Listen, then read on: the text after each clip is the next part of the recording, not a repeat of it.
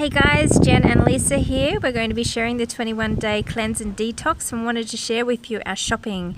Absolutely beautiful fresh fruit and vegetables here. And we looked up the menus and got a lot of the ingredients for all of the menus.